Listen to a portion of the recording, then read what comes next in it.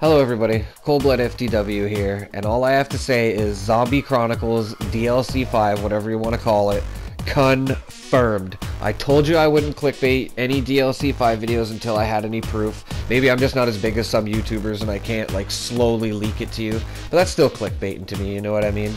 Whenever something's confirmed for games or whatever on this channel, I will make sure it's confirmed and no speculating even though we're going to speculate on this video a little bit because we don't know what gumballs are going to come out. There's if there's new gumballs um, if there's going to be wonder weapons on the map just leave those in the comments what you think they're going to do.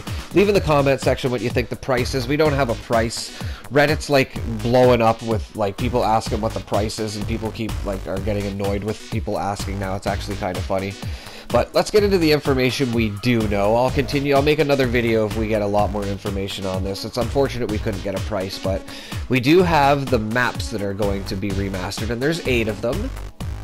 And one of them is going to be Verrückt, as I'm showing here. Number two is going to be the Moon. This is in no specific order, like they're all coming out at the same time, I'd assume. Um, Nocturne Toten's going to be remastered. Sorry if I don't pronounce these right. Um, Ascension is going to be coming out. I can't wait. Oh my god. Kino Der Toten's gonna be remastered. Just phenomenal. Shangri-La's going to be remastered. Shi No Numa's going to be remastered. And my favorite, I can't wait for this, Origins remastered. Oh my god. And it comes out May 16th. I can't wait. I can barely wait for this. Now, like I said, we can speculate on a price. We can speculate on what's going to be on the maps. I'm guessing, honestly, if I had to guess, I'm going to guess between 30 and $50 for this, if I had to guess.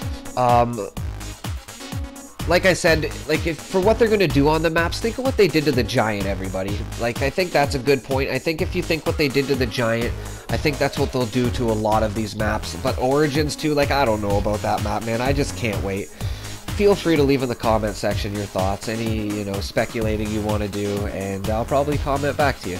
But thank you so much for watching, everybody. I'll try to make another video if more information comes out, and take care. Have a great day.